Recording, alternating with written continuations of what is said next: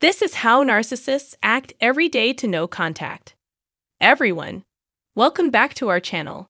Today, we're exploring a topic that many can relate to the complex dynamics that unfold when deciding to go no contact with a narcissist.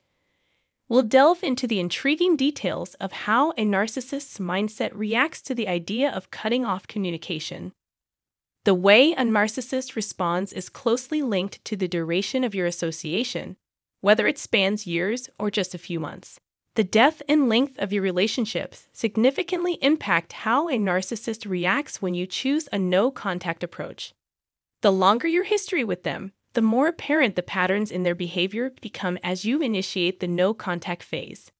But before we dive into these insights, let's build our community by hitting the like button. If you're new here, remember to subscribe and ring the bell for regular updates. Share your thoughts in the comments below. Your experiences matter. Now let's unravel the complexities of going no contact with a narcissist and decipher their reactions based on the duration of your connection. Ready? Let's jump in. When you decide to cut off communication with a narcissist and adopt a no contact approach, they might act tough, believing they can break your resolve. Their mindset is, I'll make you come to me. I won't be the one chasing. They perceive themselves as superior, thinking that your emotional and empathetic nature makes you appear weak. Their strategy is to wait until you can't handle it anymore and reach out. Why? To a narcissist, emotions, and having a heart make you look vulnerable. The more emotional you are, the more they believe you'll eventually give in and contact them. This is what goes through their mind when you choose to cut off contact with a narcissist. It's crucial to stick to your decision. No contact means avoiding them entirely, regardless of the situation. Whether it's their birthday or even their mom's birthday, even if you get along with her, Maintaining no contact communicates that you want nothing to do with them, making it clear that the relationship is over. When you initiate the no contact approach, don't expect the narcissist to be overly concerned about your absence. They lack empathy, so they won't worry about your well being. Instead, they quickly shift their focus to finding someone else to gain attention from. Often, they already have someone in mind, possibly someone they were talking to while still with you.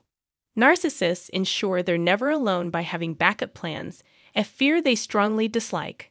Always seeking validation and interaction, they keep alternatives ready.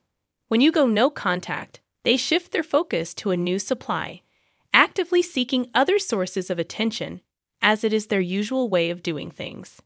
With you out of the picture, the narcissist becomes engrossed in their new attention source, relishing the novelty. Simultaneously, they reach out to others just in case the new connection falters. Your well being is not a priority for them at this stage. Over time, however, the narcissist may grow bored or encounter issues with their current attention source. Perhaps the new person is harder to control than anticipated. This is when thoughts of you might resurface. However, be prepared for the fact that they won't offer closure. Narcissists prefer to keep their options open and avoid burning bridges. The only time a narcissist might permanently back off is after a significant conflict. Not all narcissists return, but many do. Whether they do or not depends on the intensity of your breakup and whether you still possess something valuable they desire. If you have something they want, be it physical intimacy, money, a business, a comfortable living arrangement, or anything else, they might contemplate returning to see if you're open to reconciliation this often involves them employing hoovering tactics to draw you back into the relationship. Their return frequently coincides with them growing tired of the new source or thinking enough time has elapsed for your emotions to settle. Perhaps you went no contact after detecting their manipulative games or suspecting them of cheating or gaslighting. The narcissist patiently waits it out, engages in the new relationship, and then decides to re enter your life. This is when the hoovering begins. You may receive messages like, How have you been? or Long time no talk, or I miss you. The narcissist aims to pull you back in without addressing the past issues that led to no contact, acting as if nothing happened. Now, you find yourself in a challenging situation, realizing the narcissist was not the person they pretended to be. Their promises of a shared future and displayed affection were all deceitful. You're left feeling heartbroken, confused, and bewildered by the abrupt shift from affectionate to indifferent. Once the narcissist believes they have you, the affection diminishes because, in their eyes, they already have you, and they start searching for someone new to keep in reserve. It's like a game for them, always craving more and struggling to appreciate a good person when they have one. They're greedy, perpetually contemplating what else they can obtain, perhaps from someone else on the side, while keeping you around. When you uncover the deceptive games of a narcissist and decide to sever ties, they swiftly shift their focus to someone else. Whether you realize it or not, they may attempt to draw you back in later. The common question arises Do narcissists miss you during no contact? It's crucial to understand that a narcissist's thought process differs significantly from yours. While they might miss the favors you did for them, their longing is not for you as a unique individual or their true love. True love, in their eyes, wouldn't entail the risk of losing you. I can vouch for this based on ample life experiences. A narcissist wouldn't jeopardize losing you to someone else if they genuinely cared about you. Even if they harbor some liking for you, their primary focus remains on themselves. Immersed in their newfound source of attention, they pay minimal attention to your well being. Many narcissists assume you'll be a constant presence, believing you won't move on and that no one else could match the interest you once held for them. Their outward confidence stems from the belief that, even if you're not presently communicating, you'll be available when they decide to return after exploring other avenues. This narrative plays out in their minds. What truly unsettles a narcissist is discovering that you've started dating someone else.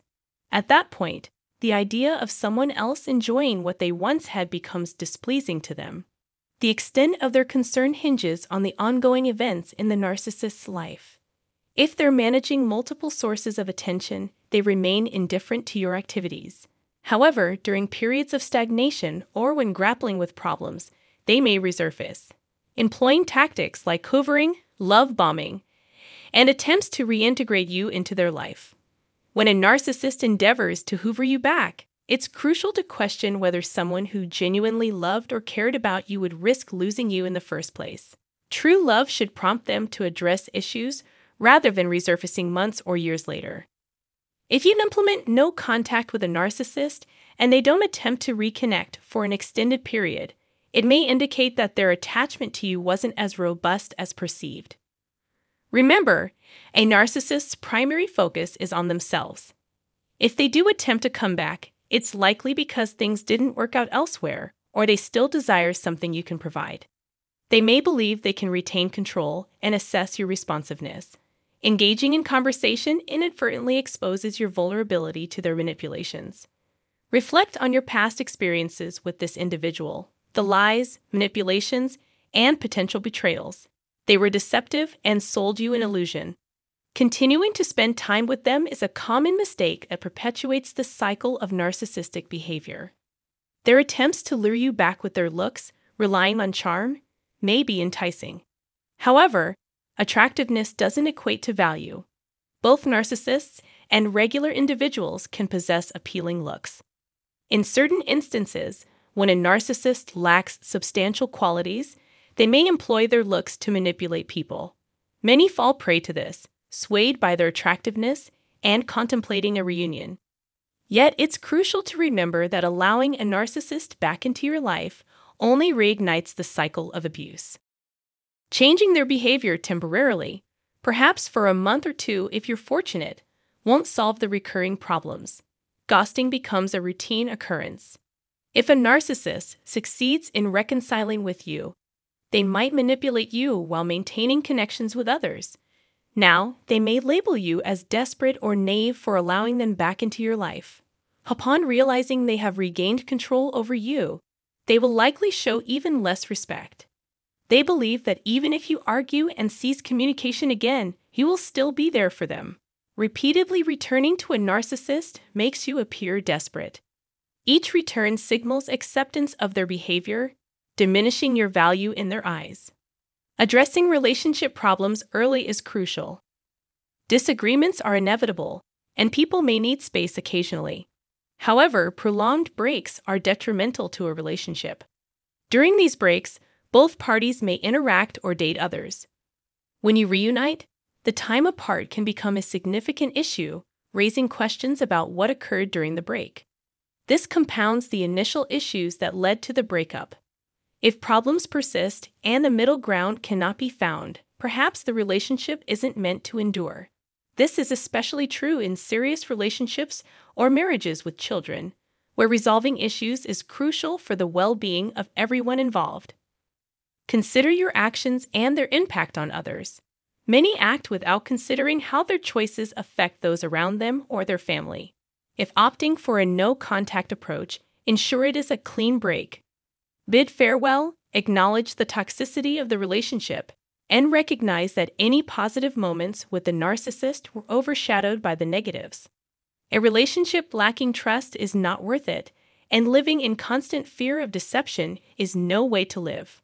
Although going no contact may be challenging and lonely, it is far better than wasting your life on a toxic relationship.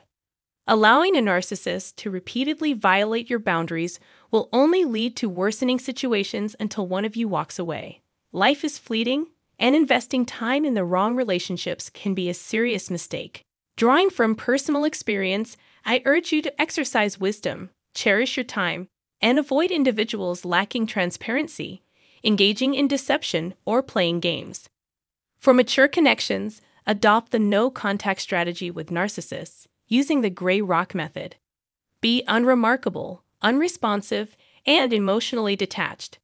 Block them across all platforms and if others connected to them inquire, maintain a resolute silence. If you share children with a narcissist, manage interactions through legal representatives, adhering to court issued directives. This practical approach ensures effective no contact. We value your exploration of these insights. Your engagement and attention are crucial to our ability to deliver valuable content. For a small fee of $1, you can become a channel member unlocking exclusive perks while supporting the content you value. Your support is vital in enabling us to continue providing valuable content. Once again, thank you for your ongoing viewership and consideration.